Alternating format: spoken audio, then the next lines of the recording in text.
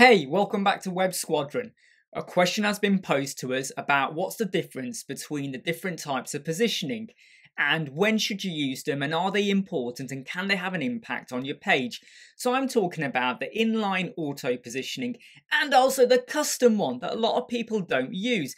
But first let's break it down into why you may want to use it and how you can reduce some of the bloat or some of the extra HTML coding that can appear on your page. Well, you won't really see it what can appear on your page and how we can get around that. I'm Imran Siddiq, part of Web Squadron, and I hope you like, subscribe, and join in followers so that you can keep up to date with lots of things about WordPress, Elementor, and how you can help yourself, your business, and your customer.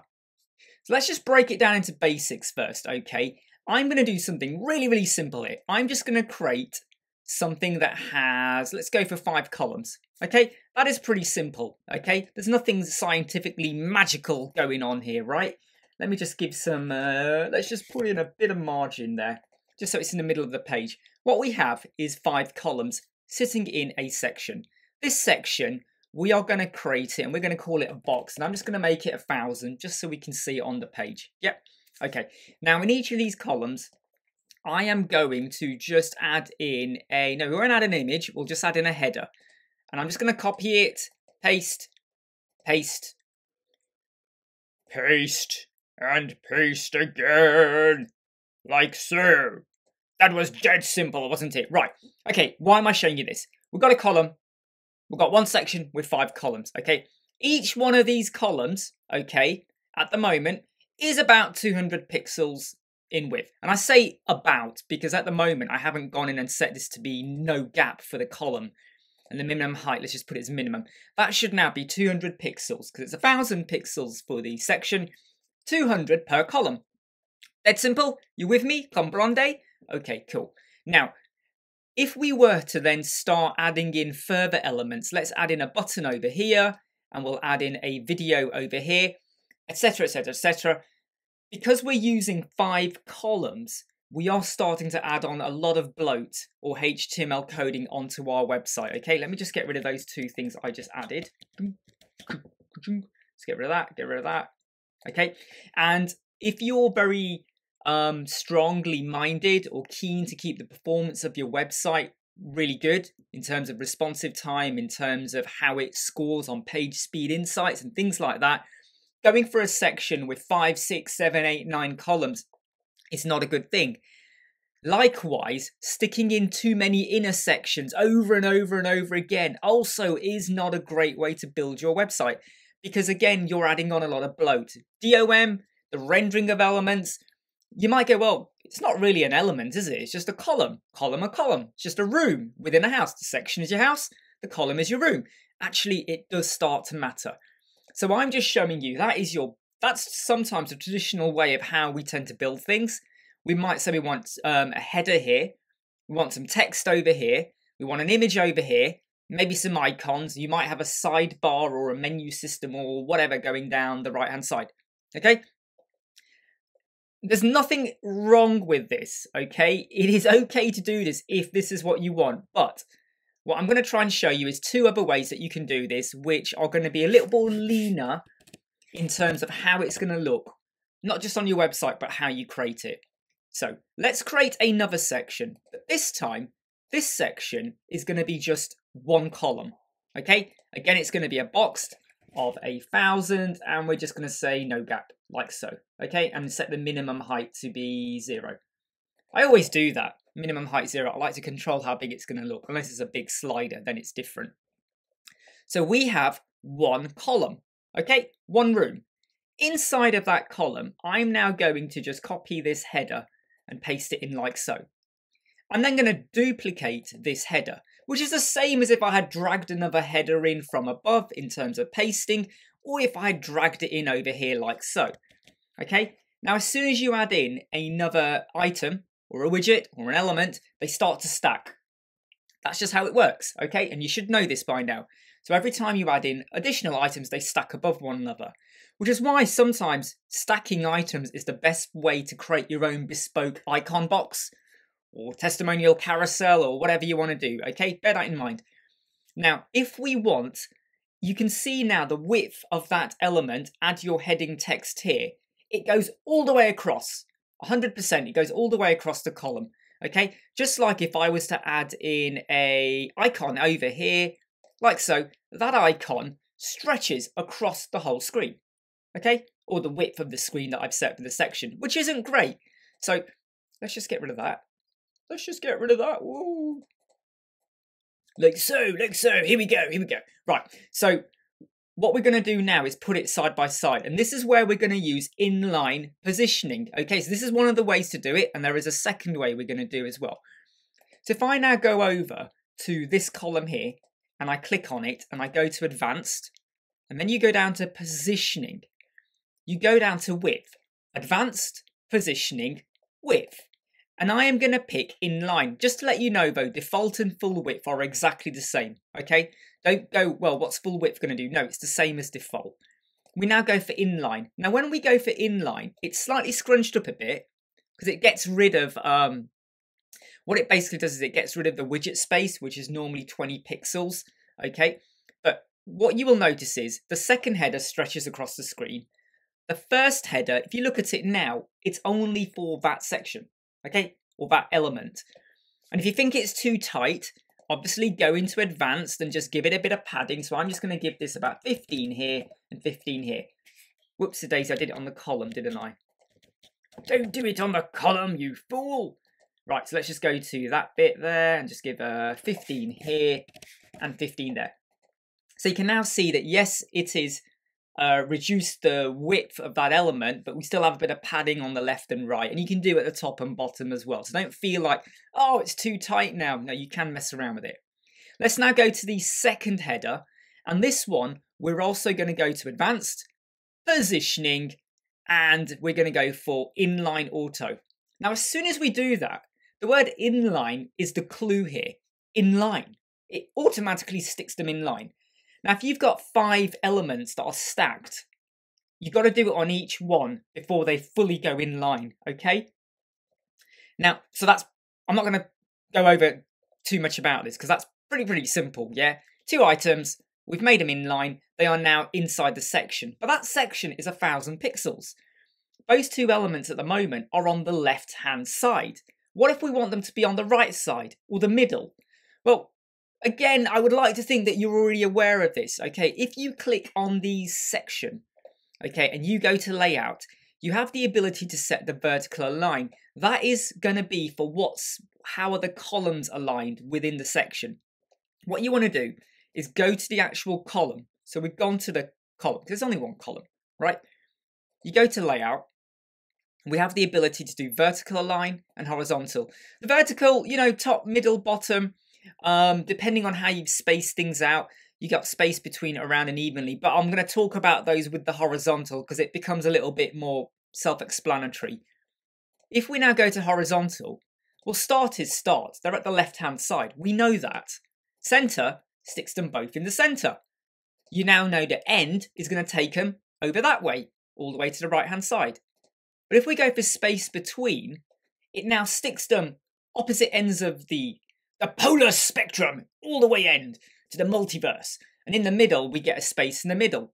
That can be fine if you have a logo and a menu, maybe. Or maybe you've got some text and an image and you want to keep them nicely spaced out. There's always going to be a space between them.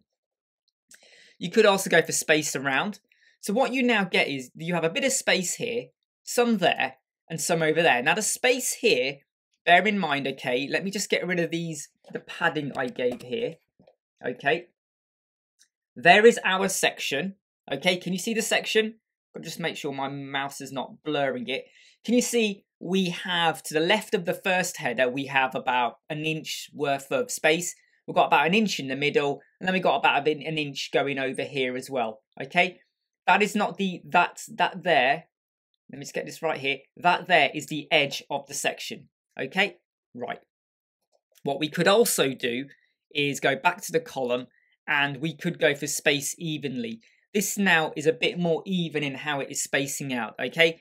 So the space around is, it does a bit around, but I tend to find that you're either going to go for space between or space evenly, just because of the way it works, okay? What is good about doing this? You reduce the amount of HTML you are adding compared to having five individual columns. But inline auto doesn't necessarily mean a good, good thing, okay? Too much inline auto, and you're going to get messages on GTmetrix and your page speed insights that there is too much inline auto, and that can affect your performance score. Okay, so don't assume that you've suddenly made everything wonderful by jumping from here to here, because there's a good chance that you do this and you'll get no performance issue whatsoever. You do this and you will get a bit of a performance issue. So just have a think about how many inline autos you're going to be doing. That being said, even though I've just said it's not going to affect your performance with having five columns, don't overdo a page with five, six, seven, eight, four, three, whatever, too many columns, okay? Because the column is a room. So, like I said, uh, section is a house, right? You've got a house with three columns, so a three roomed house, three bedroomed house, three roomed house, okay? That's fine. You now got another house, another section with 10 columns. Why would you do that? 10 columns and inner sections and whatever else going on in there. You now got a house that's turning into a block of flats. And there's more maintenance, right? Block of flats, plumbing, heating, water, all of that. So just think about it in terms of don't overdo how many columns you got. Now let's go on to the second way that we can uh, limit the HTML. Let's just duplicate this section. Okay, let's just give it a bit of breathing space from the one above there. And we're going to get rid of this header here, and we're going to get rid of this header in again. And I'm just going to add in a brand new header, like so. There we go, wonderful. Okay, we got our header, okay?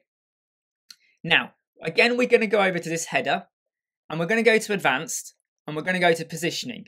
Same thing we did above. But this time, rather than picking inline auto, we're going to pick custom.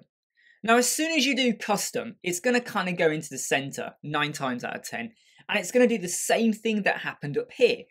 It's now tight around the element, unless you add in some padding for that element.